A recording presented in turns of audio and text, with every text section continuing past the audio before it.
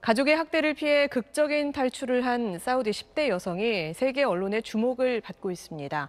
어떤 사연인지 카이로 이대욱 특파원이 보도합니다. 사우디의 18세 여성 알코눈이 호텔 방문을 책상과 매트리스 등으로 막아놓고 앉아 있습니다. 태국 정부의 강제 송환 방침에 맞서기 위한 것입니다. 알코눈은 가족의 강제 결혼과 학대에서 벗어나기 위해 탈출을 결심하고 호주행 비행기에 올랐습니다. 그러나 경유지인 태국에 도착하자마자 사우디 외교관에 여권을 뺏겼습니다. 아버지와 오빠들은 그녀를 데려가려고 방콕까지 날아갔습니다. 알쿠누는 사우디로 돌아가면 아버지와 오빠들에게 죽게 될 것이라고 SNS에 호소했습니다.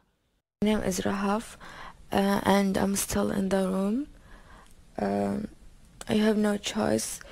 Uh, they said I have to go tomorrow and uh, no one can help me right now. 그녀의 사연이 전 세계 주요 언론에 보도되자 태국 정부는 강제 추방 방침을 철회했습니다. 유엔은 난민 지위를 허용했고 캐나다가 망명을 받아들였습니다. This is Rahaf Alkna, a very brave new Canadian. And Rahaf wanted Canadians